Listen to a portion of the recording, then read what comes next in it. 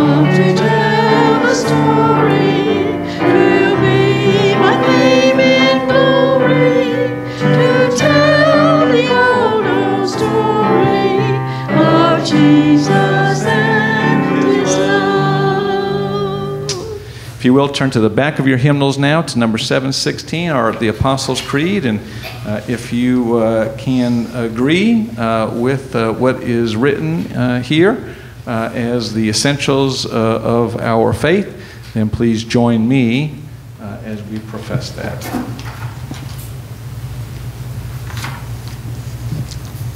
Sorry. I believe in God the Father Almighty, maker of heaven and earth, and in Jesus Christ, his only Son, our Lord, who was conceived by the Holy Spirit, born of the Virgin Mary, suffered under Pontius Pilate, was crucified, dead, and buried. He descended into Hades. The third day he rose again from the dead. He ascended into heaven and sitteth on the right hand of God the Father Almighty. From thence he shall come to judge the quick and the dead. I believe in the Holy Spirit, the holy Christian church, the communion of saints, the forgiveness of sins, the resurrection of the body, and the life everlasting. Amen. Our next hymn is number 371. First, second, and last. First, second, and last.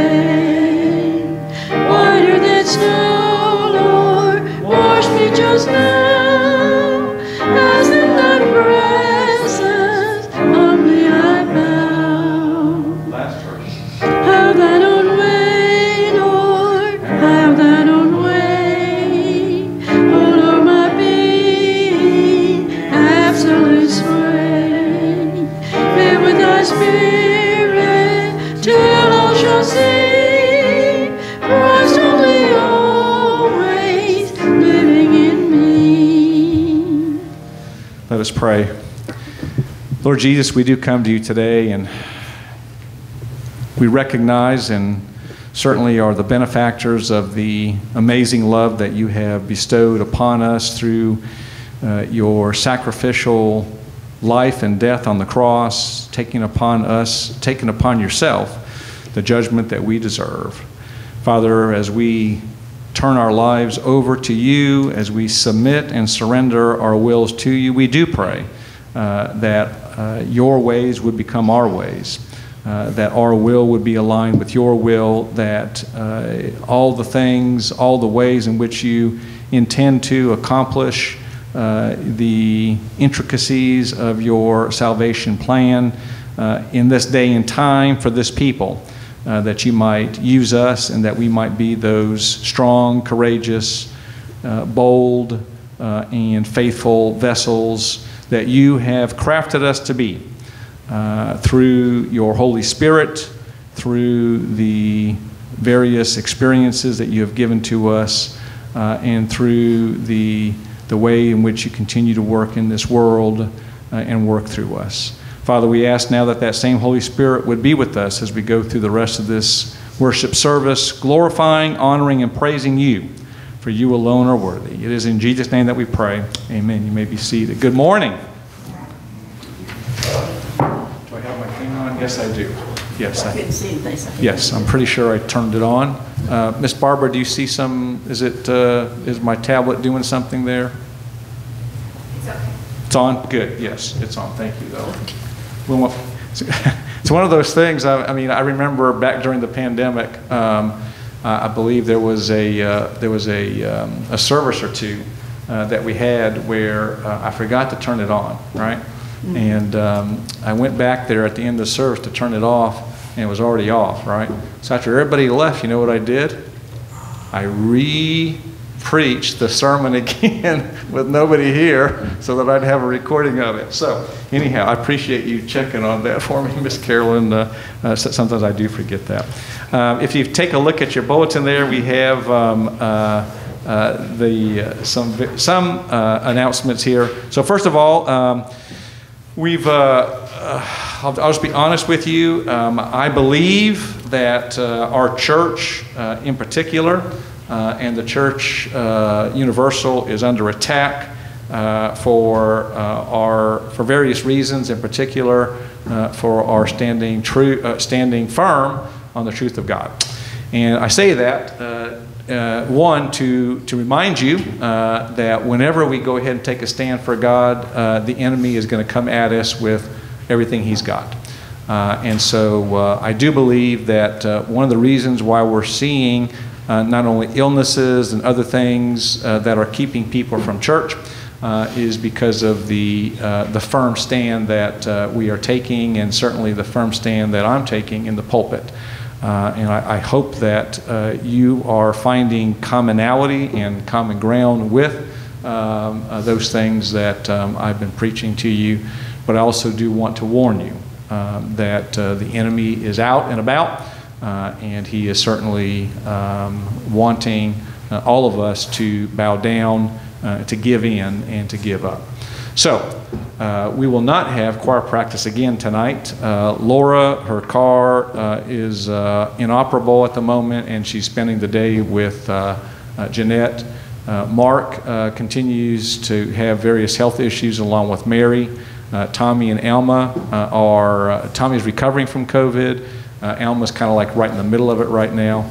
Uh, Olivia continues to, uh, to be on vacation right now. So uh, the bottom line is uh, we don't have a full complement uh, of the choir to go ahead and lead us here in, in worship.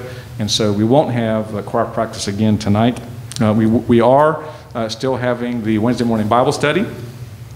We are very close to, to finishing up. Paul's in a great big storm right now in uh, chapter 27. Uh, they're getting blown about, uh, and they're basically going to get blown apart uh, here very shortly in this, uh, this boat that they're in, this ship that they're in. Uh, but God is going to see them through uh, that storm, uh, and He's going to get Paul to Rome, where he's going to stand before Caesar uh, and give his testimony there. So uh, we urge you, if you uh, have the time, uh, to join us on Wednesday mornings at 10 o'clock uh, for the completion of this study as well as uh, the following studies that we'll be doing after that. Uh, to- It is the first uh, Sunday of the month. It's hard to believe it's already September. Um, I won't get into what I usually get into in terms of what follows from there. You are all adults, you know what follows from there. But uh, uh, 2023 very soon will be in the books, and we'll be looking at 2024. So, as the first Sunday of the month, that we will be celebrating communion here a little bit later on, and then also as a reminder, uh, we will be having our uh, church fellowship meal uh, next Sunday, uh, following the service, uh, with the session meeting uh, after that. Um, if you look there on uh, in your bulletin there, uh, you also see those that have birthdays uh, this week.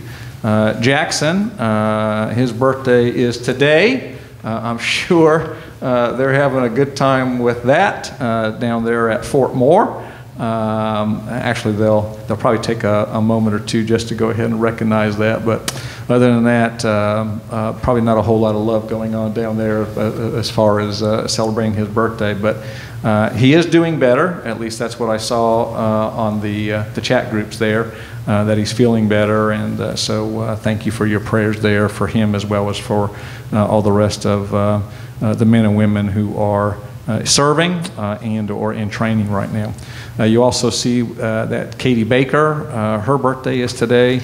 And then Viola's birthday is later this week here on the 8th. and so she is a faithful watcher of these um, services online.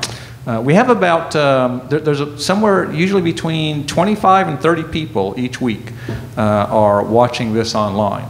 Uh, and so um, uh, we're going to go ahead and sing happy birthday to Jackson and to Viola uh, and to Katie here. And I don't know if Jackson will get a chance to hear it or see it, but Viola definitely will. So please join me. Happy birthday to you. Happy birthday to you. Happy birthday, God bless you. Happy birthday to you. All right. Um, feel free if you want to, go ahead and uh, text that to uh, to Jackson at some point later uh, later tomorrow once this is uploaded to YouTube as well. So, uh, are there any other announcements that we should be bringing to the attention of the congregation at this time? Let's continue our worship, diverting uh, again all of our attention to the one who is worthy of not only our worship, our attention, uh, our gifts, uh, our resources, our activities, our thoughts, our hearts, our souls. Uh, the one who is worthy, and that is Jesus, our Lord and Savior. Our next hymn is number 274. Which verses, Miss Carolyn? Well, we'll try all four Try all four. 274, all four. We might make it to the last.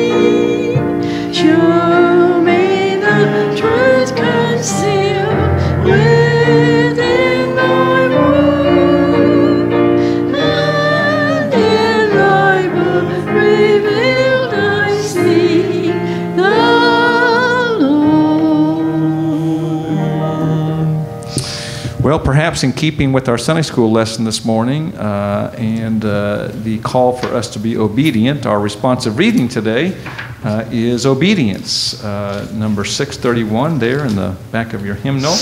Uh, you'll find it there on the right hand page, left hand column near the bottom. And uh, as I'm sure all of you are well aware, I will read these passages, sentences that are not in bold, and if you could please respond in unison to those that are in bold. Obedience. Therefore, thou shalt love the Lord thy God and keep his charge, and his statutes, and his judgments, and his commandments always. For this commandment which I command thee this day, it is not hidden from thee, neither is it far off. It is not in heaven that thou shouldest say, Who shall go up for us to heaven and bring it unto us, that we may hear it and do it? Neither is it beyond the sea that thou shouldest say, Who shall go over the sea for us and bring it unto us, that we may hear it and do it? But the word is very nigh unto thee, in thy mouth and in thy heart, that thou mayest do it. This book of the law shall not depart out of thy mouth, but thou shalt meditate therein day and night, that thou may observe to do according to all that is written therein. For then thou shalt make the way prosperous, and then thou shalt have good success. Hath the Lord as great delight in burnt offerings and sacrifices as in obeying the voice of the Lord? Behold, to obey is better than sacrifice, and to hearken than the fat of rams. He that hath my commandments and keepeth them, he it is that loveth me. And he that loveth me shall be loved of my Father, and I will love him and will manifest myself to him.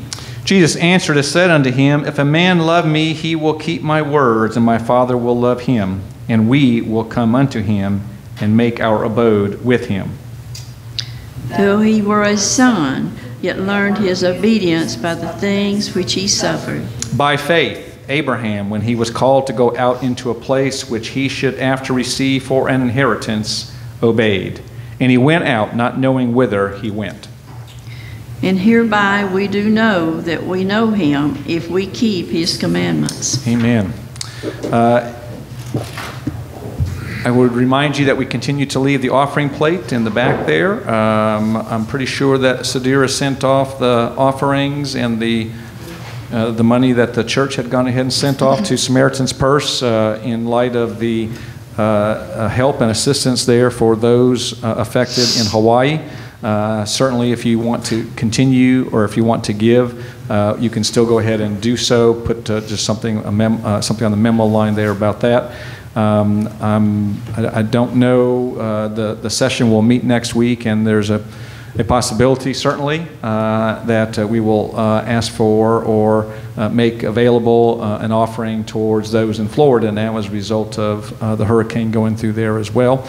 and certainly, if you just wanted to, to give and, and felt um, the unction by the Lord to go ahead and give towards that already, you can certainly do the same for that. Uh, we, uh, we tend to um, uh, lean heavily towards Samaritan's Purse. Uh, that organization, they seem to do a really good job uh, of being good stewards of the funds. Uh, they have good resources. They are faithful to not only showing the love of Christ in all of these areas that they go, but also to present the love of Christ through the gospel uh, that those people might come to know the Lord as their Savior as well. So um, I just uh, mentioned that, uh, that, that, that, that that may be an opportunity here in the future as well.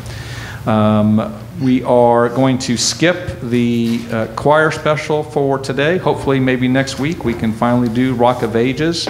Uh, and so, with that, uh, if you'll take a look on the inside uh, of your bulletin there, again on the right hand side towards the bottom, we have those that we've been praying for. Let me just give you a couple of updates. Um, I, I, talked with Aussie. Uh, Aussie's got a grandson uh, who is now engaged, uh, and uh, that grandson, there are some engagement activities down in Tuscaloosa today. So she and Polly were heading down there. Tommy and Alma are still in the midst of COVID. Tommy's doing better. Alma has pretty much uh, is kind of like in the middle of it right now. She had a kind of a rough day yesterday. Uh, she's doing a little bit better today. Uh, Lindan just kind of re-aggravated her back yesterday from working around the house and out in the yard there. Um, Mark uh, had a colonoscopy on uh, Friday. Uh, he had headache and fever yesterday. Mary continues to be sick with unknown illnesses at this point. So that's why they aren't here. Um, I also went ahead and uh, talked with Mary Baba. Uh, Stacy uh, is back at work. Uh, in addition to the uh, her passing out and the the, the seizure-like moment that she had, um, subsequent to that, she also ended up, ended up with COVID. Uh, and then after that, she had a, an abscess uh, uh, uh, in her mouth from one of her teeth and had to have some work done there as well.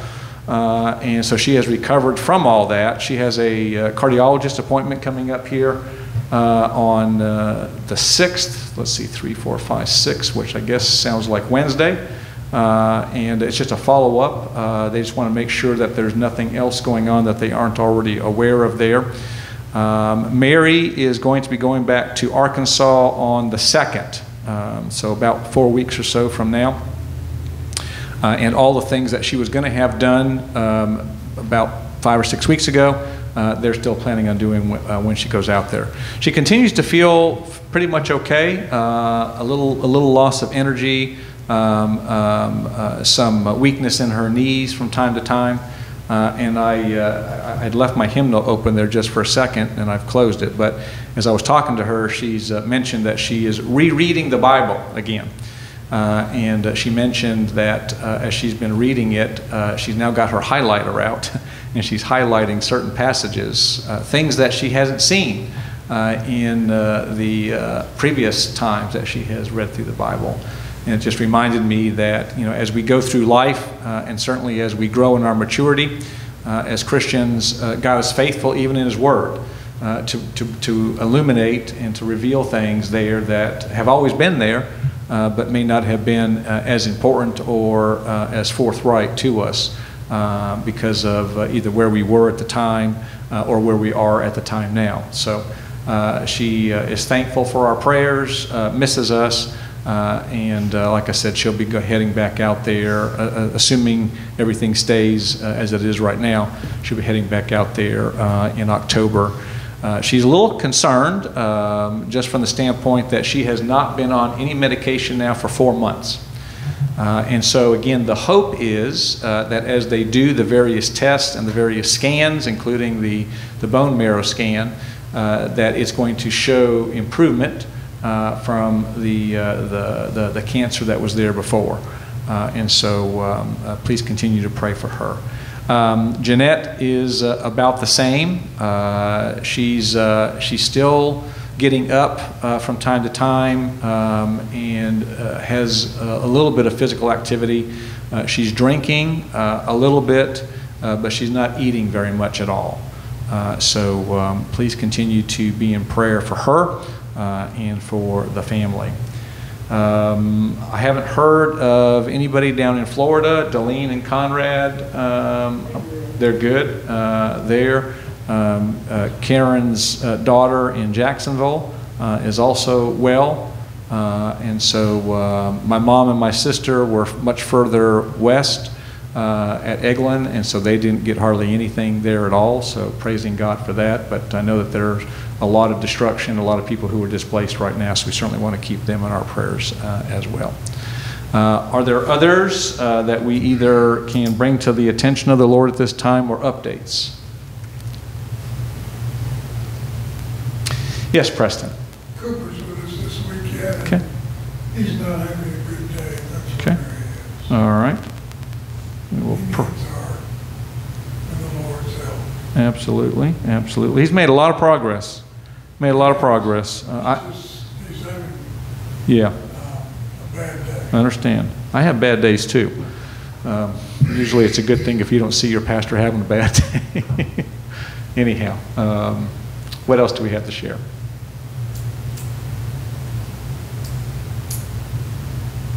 Lots of unspoken requests. Okay. Um, let's go to the Lord in prayer then, and uh, let's lift up um, uh, these that we've uh, talked about here, as well as those that are on your hearts right now. Lord Jesus, we, we do come to you um, in faith, uh, but also in humility, uh, recognizing that uh, you hold within your palm as well as just within your word all power uh, to create uh, and to bring forth life, uh, to change things uh, in various ways, uh, to transform, and to bring judgment. Lord, we, we thank you for the love that you have not only expressed to us in word, but also in deed through the cross and through uh, the Father's resurrection, uh, that you have overcome and defeated our greatest enemy, uh, not only physical death, but more importantly, spiritual death once and for all. Uh, Lord, uh, these bodies that we still inhabit now are not the bodies that will last throughout all eternity, uh, and they continue to suffer from the consequences of sin uh, brought about through the fall. Uh, Father, we ask that as we uh, are, are attempting uh, to be as good a steward as we can with these bodies, uh, that even uh, in our uh, best of efforts, that there are things that come upon us uh, or things that occur that are totally beyond our control. Father, for those who are suffering from COVID and or other viruses or bacteria at this point, especially uh, Mark and Mary and Tommy and Alma and um, uh, there's others that I'm are just uh, eluding me at the moment, Father, that uh, you would be with them, bringing healing uh, to their bodies in particular, but Father, for all those that are being impacted, uh, that uh, you would bring healing to them, Father, that they would be doing what they can in order to cooperate with the way in which you are operating, but Father, that you have the power uh, and the ability to go ahead and bring that healing through various means. Father, we do thank you for those health professionals uh, that are uh, constantly uh, and faithful uh, to bring care and support to us. Uh, either in our homes, like Stacy does at times, or in the hospital. those chaplains as well that serve not only the patients but also the doctors, the nurses, the staff, all that are there, Father uh, that you would be with them, helping them to, uh, to stay safe as well. Um, uh, healthy people typically don't go to the hospital except to visit and or to work. Uh, and Lord, uh, as they go into the hospital, they are susceptible to uh, those same germs and viruses and bacteria that are there as well. We do, we do urge and request that you would continue to provide for them, protect them as well. Uh, Lord, for those that have been displaced by the hurricane and uh, have uh, lost um, personal property, other things, mementos that can never be replaced, we ask that you would be with them. Father, uh, guide us as you will with regard to how we should help our brothers and sisters that have been affected, certainly there as well as there in Hawaii. Uh, Father, we continue to lift up uh, all of our leaders uh, at the local level, all the way up to uh, the national level. Uh, Lord, that you would be with them, that you would not only bring them health and protection, but also wisdom, guiding them to be open to and strong and courageous with regard to following. Uh, the will that you have them to follow. Uh, Father, we, we do uh, ask that you would strengthen our faith uh, in our obedience to you as well, that we might not question um, your requests of us or your commandments of us, that we would trust in your Holy Spirit to be able to guide us and to provide for us. Uh, as you ask us and command us to, to, to be obedient uh, to recognize your will in our lives as well as in the lives of others, uh, that you might continue to use us for your glory, for your honor, uh, for you to be praised, uh, that uh, uh, when they look to us, that they would see you uh, and you alone. Uh, Father, help to continue to transform us uh, into the image of your Son, uh, that you might be glorified. We ask all this in Jesus' name. Amen. Uh, if you will, uh, open your Bibles to the book of Romans. Uh, today will be on the last road or last step of the Roman road of salvation. We'll be in chapter 5, looking at verse 1. Uh, I would remind you that uh, I initially read from the King James Version, and then uh, later on, most of my references, unless I note otherwise, will always typically be from the ESV. Uh, again, this is the fifth and final step on the Roman road of salvation. Again, like I said last week, if you go search on Google, you may find uh, uh, some pages out there that would have four steps. You may find others that have uh, different verses uh, or um, uh, ancillary verses that go along with the verses that I have uh, been preaching on as well. Uh, but I think that you will find that all of these verses uh, and all those pages out there are, are going to follow a similar theme. this is Romans chapter 1, I'm sorry, chapter 5, verse 1. Therefore, being justified by faith, we have peace with God through our Lord Jesus Christ. Let's pray. Father God, we just pray now, right now that the life that you bring to us through your Lord, through his life, through his death, through his resurrection, through the word that you have preserved and provided for us, that that word would bring life, that your Holy Spirit would illuminate it in our lives right now, uh, that you would use us uh, in your glorious plan of salvation, that you would be glorified, honored, and praised. It's in Jesus' name that we pray. Amen. Well, as I look out in the congregation today, I see faithful followers of Christ, faithful and strong in their faith.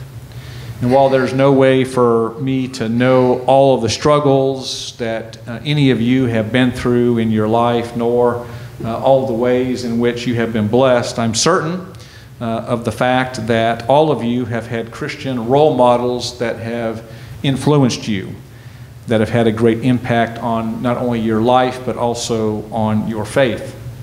I feel equally certain that each of you here today have had the privilege of knowing personally a Christian believer who faced not only their life, but death, not with fear, not with frustration, not with anger, not with bitterness, not with anxiety, but instead with great peace.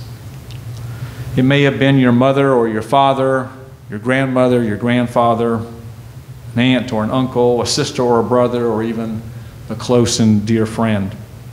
Who it was is not nearly as important, although the person is important, but who it was is not nearly as important as what they showed you. Not only how to live the Christian life, but how to die and finish the race full of faith full of hope and full of peace. Dying in peace, dying in peace is probably something that most people, both believers and non believers, hope will be their final moments, perhaps even just dying in peace while they and or we are fast asleep. However, dying at peace is something that is altogether different. From Luke's account of Stephen's horrific death in the book of Acts, I would conclude personally that Stephen died at peace. And while we don't have any biblical references specifically to either Peter or Paul's deaths, I would likely conclude that at Peter's crucifixion, as well as at Paul's beheading, that they too died at peace. Personally, I have known two extraordinary Christian women who died at peace although they didn't necessarily die in peace. Sadly, both of them ended up dying from rather similar circumstances. Highly aggressive brain cancer that was discovered late in its progress. The first woman was named Fredis Smith. She was married to Clarence Smith, who most people know as either CL or Smitty. I came to know CL through bowling. His wife Fredis would sometimes come to the bowling alley with him, and that's how I became to know her as well. CL is a deacon at First Baptist Church at Alabaster, where he and Fredis were members. Fredis helped establish a ministry there at the church called Joyful Stitchers Ministry. They specialize in knitting or stitching items for people who are, ironically, fighting cancer.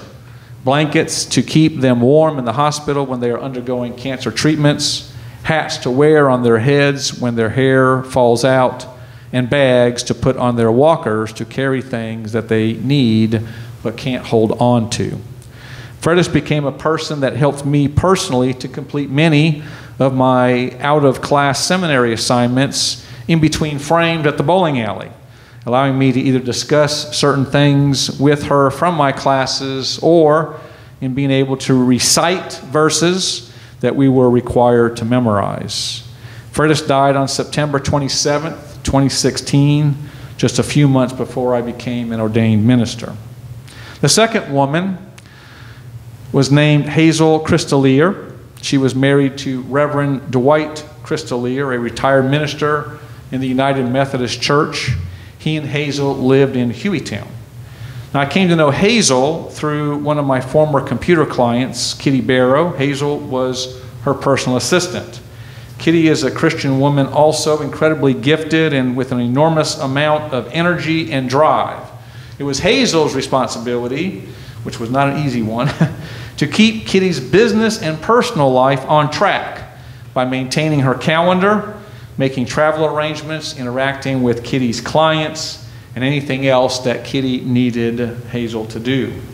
All of this work by Hazel entailed a great deal of computer work on her part, and when things either didn't work or she couldn't figure out how to do something, she would call me. And then, as I was there working on the computers, Hazel and I would have in depth conversations about life, about church, and then about my seminary classes as I was heard, as I heard the call into ministry. As a retired pastor's wife, Hazel was someone who had worked as an, uh, Hazel had also worked as an office manager for the United Methodist Pastoral Care and Counseling Department. And as a result, she had a great deal of experience both with church ministry and ministers and was a great source of encouragement even for me. Hazel died on June 19th of 2018. As I mentioned earlier, both of these women died of highly aggressive brain cancer that was discovered late in its progression. For Fredis, it was just about 30 days. 30 days from the time she was diagnosed until Jesus called her home. She was 78 at the time, just two weeks shy from turning 79, and just three weeks from celebrating her 50th wedding anniversary with CL, which the family did go ahead and celebrate even in her absence. But as awful as all that might sound, I must share with you that from the moment that Fredis learned of her diagnosis, after which she and CL agreed that she would forego any chemo or radiation treatment, which would have only potentially extended her life by a few months, she was not angry, she was not bitter, she was not anxious, and she was not afraid. Even before she started to show any symptoms of the cancer, she told me point blank at the bowling alley, I know where I'm going, and I'm at peace with it. Hazel's final days were a little longer than Fredis's, not much more, but she too decided against any chemo or radiation treatment that would have only extended her life in months, not years. She worked for Kitty as long as she could, and when she no longer had the energy, she then spent her final days at home with her husband. Hazel kept her diagnosis private, not sharing it with Kitty or me for some time. However, when she did reveal her situation, like Fredis, she was not angry, she was not bitter, she was not anxious, and she was not afraid. In supreme faith, she also said she knew exactly where she was going and that she was at peace with it. After a short battle at home under the care of her loving husband, Jesus called Hazel home at the age of 61. I've shared my experiences with these two remarkable women because they demonstrated not only their unfailing faith in God, in Jesus and in eternal salvation that's only available through the work that he did on the cross at Calvary, but also because of the profound effect that it had on them in this life, in how they saw themselves, how they saw God, and the peace they carried with them right up until the very end, including the very means that God allowed to come over them as he called them home. During their lives, these two women, they heard, they believed and accepted the charges that God had against them that they were sinners, enemies of God, with no way of reconciling themselves or to make amends for what they had done to Him. These two women heard, believed, and accepted that the consequences of sin, the wages that are paid out for what sinners have earned, is not just physical death, but a spiritual death filled with eternal torment and anguish. These two women heard, believed, and accepted that through God's grace and by His amazing love, He took steps that only He could take.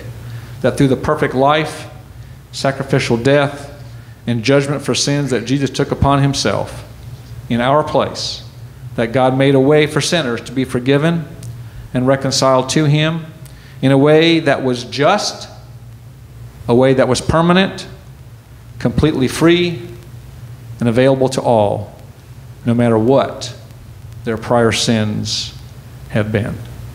These two women heard, believed, and accepted the free gift of salvation that God presented before them, receiving it with faith, treasuring it within their hearts, and professing their belief with their lips that Jesus Christ was the Savior that they needed and the Lord that they then served and trusted. And as a result of those four steps, these two women knew and experienced the truth embodied in the fifth stop of the Roman road of salvation, as Paul writes in chapter 5, verse 1.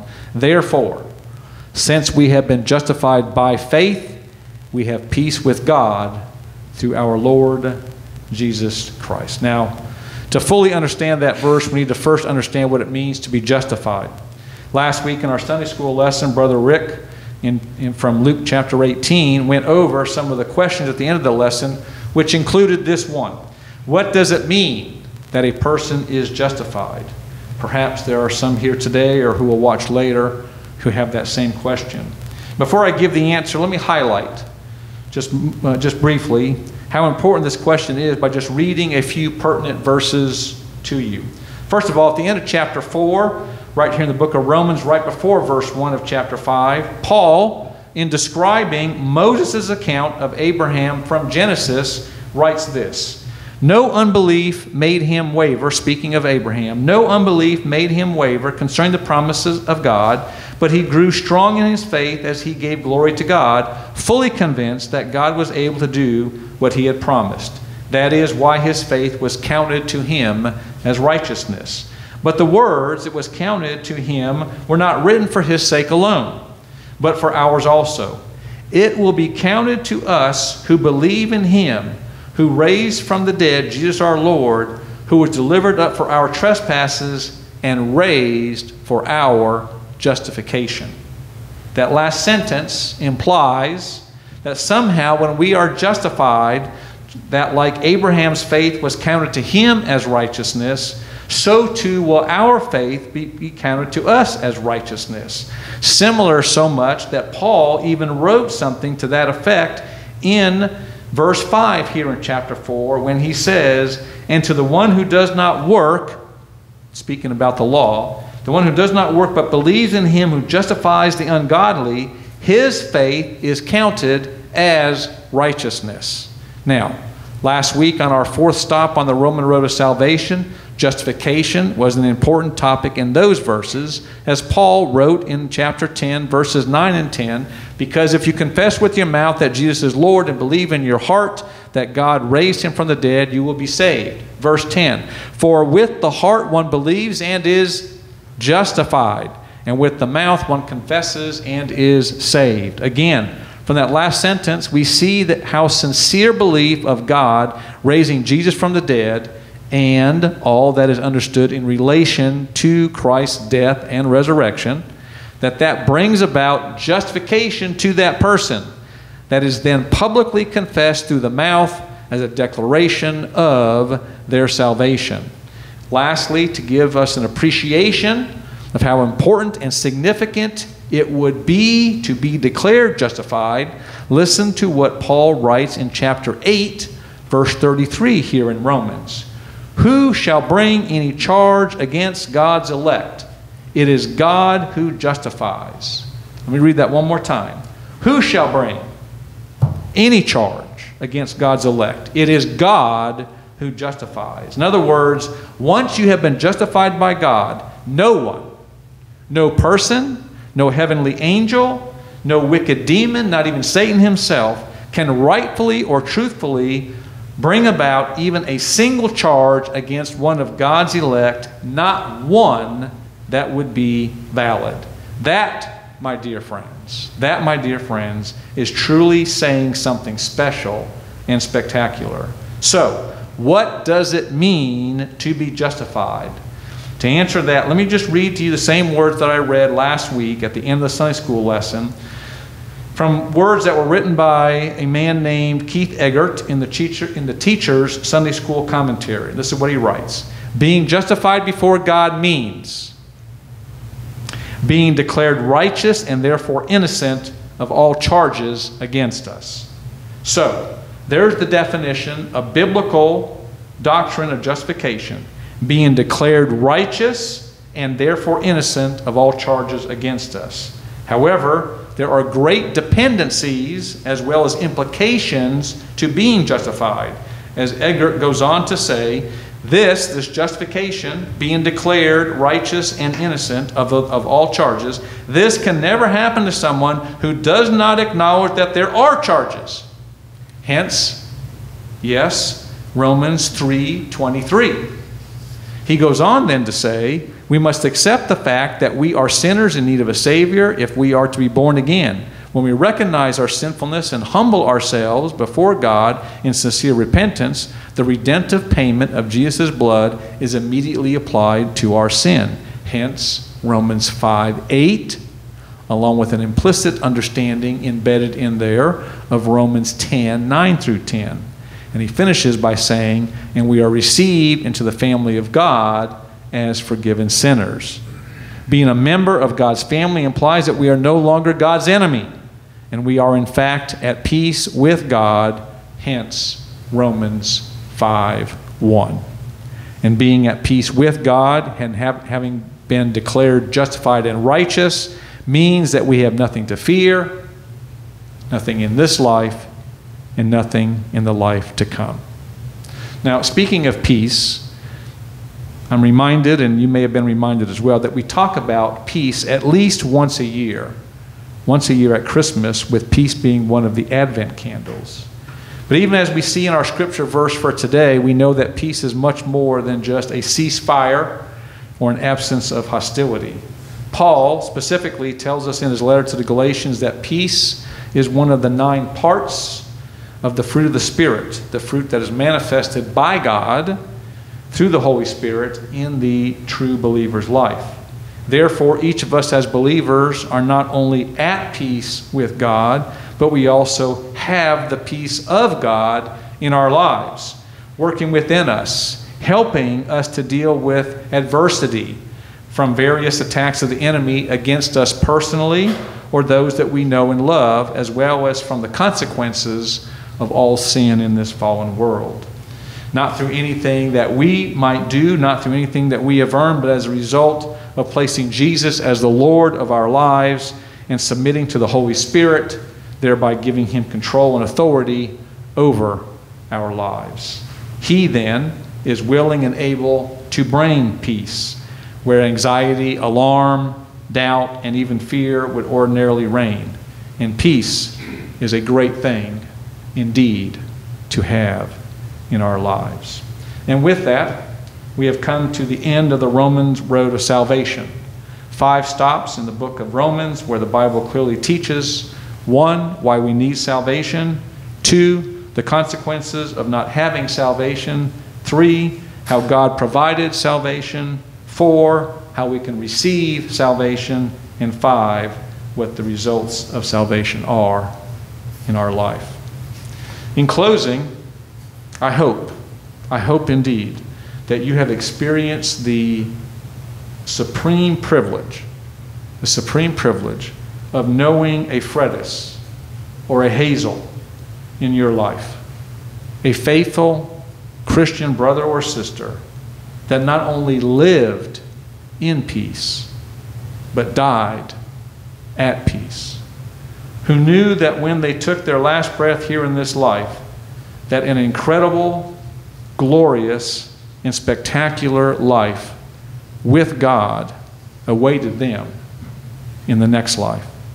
I hope that as born again believers at peace with God through Christ, who alone is solely responsible not only for us getting saved, but also in keeping us saved, that others may look upon our lives and draw strength and confidence through our faith and our peace, that they may be drawn to our Savior and to our Lord. And so today, as encouragement that we all need, I leave you with these words from the Apostle Paul that he wrote to the Philippians even as he was in prison. This is Philippians 4, verses 4 through 7, which I know you've heard before. Rejoice in the Lord always. Again, I say, rejoice. Let your reasonableness be known to everyone. The Lord is at hand.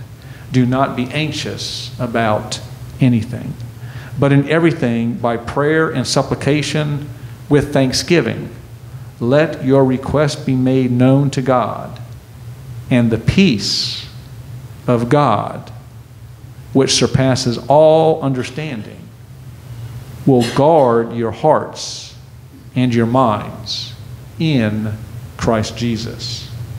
And from Jesus himself, who told his disciples right before he was heading to be arrested and later crucified for our sins. John 16, verse 33. I have said these things to you that in me you may have peace. In the world you will have tribulation, but take heart. I have overcome the world.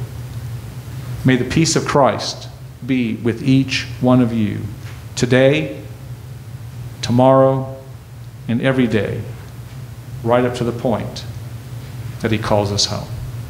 Let's pray. Lord Jesus, we, we come to you and we are humbled by the extraordinary demonstration of love that you have shown and enacted, showing not only the love that you have for us, in an emotional or relational sense, but in an in a effective manner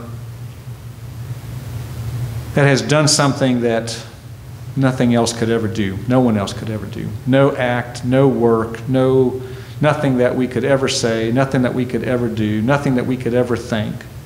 Nothing. Nothing can do what you've done for us. The charges that you have levied against us in your word are true and demand judgment. And Lord, we are grateful and humbled that you would take that judgment on yourself and all that it entails, that we might be declared righteous and innocent of all charges. That you, through, that the Father, through your blood, declares us justified. And as a result of that justification, that we are at peace with you right now and for the rest of our lives and for all eternity. It is nearly incomprehensible to fully understand, and to fully appreciate the significance of what you have done. May it always be in our hearts. May it always be new. May it always be effective. May it always have an impact on us. May it see us through the best of days and, more importantly, the worst of days. May you use us to bring about your plan, your glory, your honor, that you would be praised and that you would be truly worshiped in the manner in which you deserve. Father, help us. Help us through whatever days that you have in mind for us, whatever events or experiences that we will go through, that as we have you walking alongside us, that we will be faithful, that we will be strong and courageous. Lord, that we will be at peace, knowing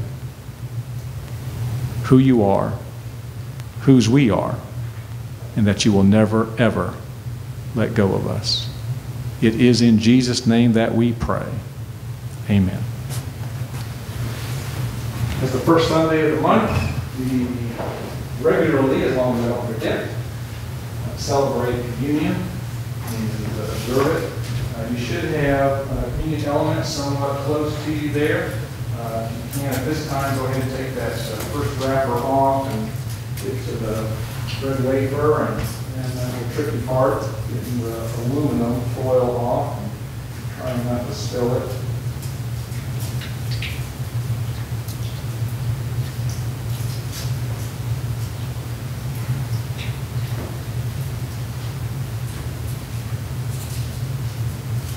Appreciate, um, Severe, the, uh, uh,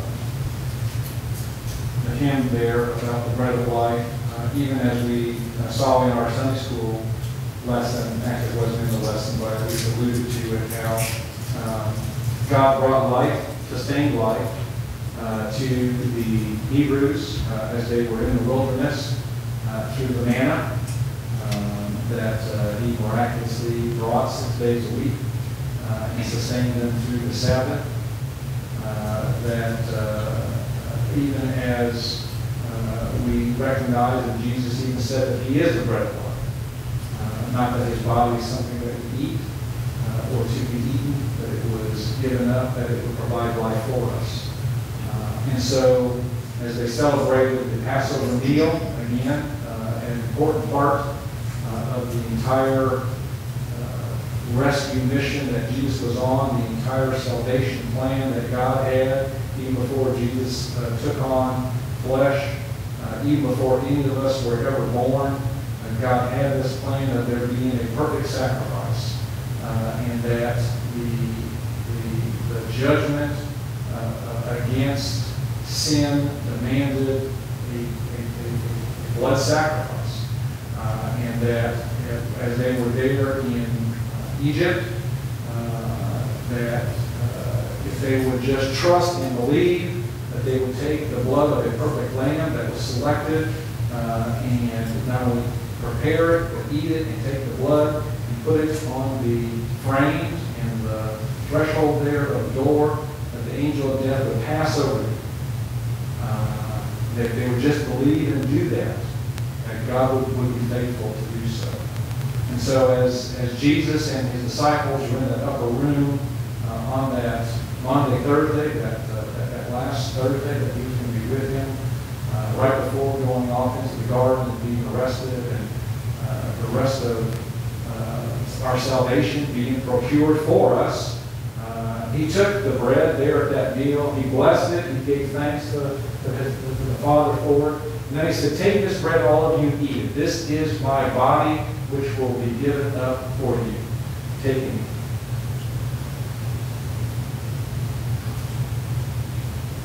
And then when the meal was ended, he took the cup, the wine, he blessed it, gave thanks to it as well. He said, This is the, uh, the cup of my blood, the blood of the new covenant, that will be shed for you and for all men, that sins may be forgiven. Do this in memory of me. Take a breath.